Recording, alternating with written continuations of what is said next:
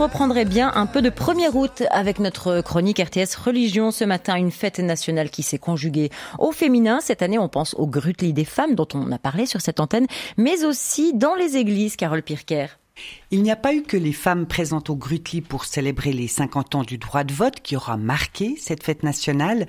Les femmes engagées en Église ont aussi célébré cet anniversaire en assurant un peu partout en Suisse la prédication lors des cultes MS.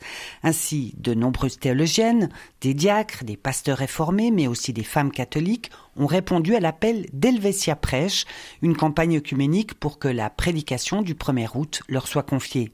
L'objectif visé était simple rendre visibles les femmes dans l'Église et marquer à l'occasion des 50 ans du droit de vote que l'égalité des droits n'y est toujours pas acquise. Le féminisme est une exigence de la foi chrétienne, a relevé une doctorante en théologie qui a participé à cette action. Et comment cette action a été suivie dans l'Église catholique où les femmes ne prêchent presque jamais? Eh bien, elle a occasionné des premières historiques. Dans le canton de Schwyz, par exemple, une femme a ainsi prêché pour la première fois à l'abbaye d'Ensideln lors d'une messe. Il s'agit d'Irène Gassman. Dans un article publié sur le site 4.ch, la religieuse explique en avoir demandé l'autorisation à Monseigneur Urban Federer, l'abbé d'Ensideln. Et comme vous pouvez le constater, a-t-elle commenté lors de la messe dimanche dernier, ma demande a été accueillie positivement.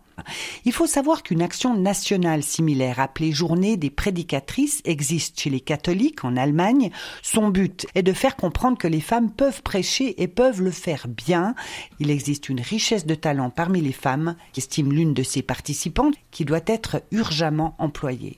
Carole, en Suisse, cette action a rendu visible le rôle des femmes dans l'Église, une Église où l'égalité homme-femme justement n'est pas toujours une évidence. En effet, car on le sait, hein, les fonctions dirigeantes ecclésiales restent majoritairement occupées par des hommes. Alors oui, ces dernières années, des femmes se sont hissées à des positions clés.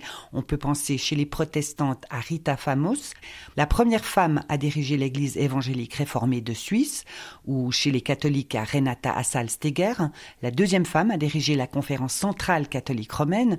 Mais la réalité, aujourd'hui encore, c'est que la plupart des femmes engagées en église s'investissent beaucoup dans les fonctions bénévoles et pâtissent encore d'une répartition inégale entre tâches familiales et professionnelles. Le chemin vers un partage du pouvoir sur une base égalitaire est, vous l'avez compris, encore long. Carole Pirker pour notre chronique RTS Religion.